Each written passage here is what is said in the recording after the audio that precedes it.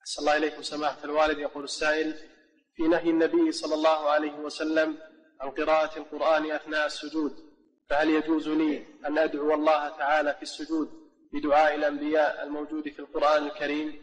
إذا كنت تقصد الدعاء فلا بأس ما تقصد التلاوة. إذا كنت لا تقصد التلاوة وإنما تقصد الدعاء فلا بأس بذلك. نعم.